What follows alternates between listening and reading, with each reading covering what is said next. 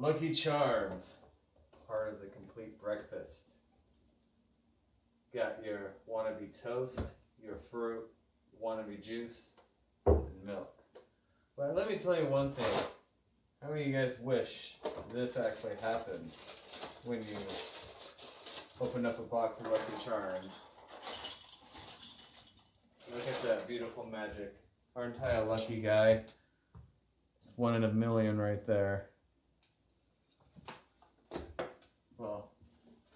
Let me fulfill my childhood dream of eating a bowl of Lucky Charms.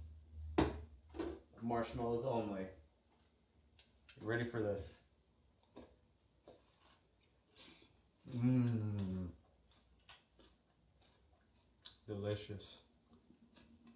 And nutritious. Tastes just like chicken.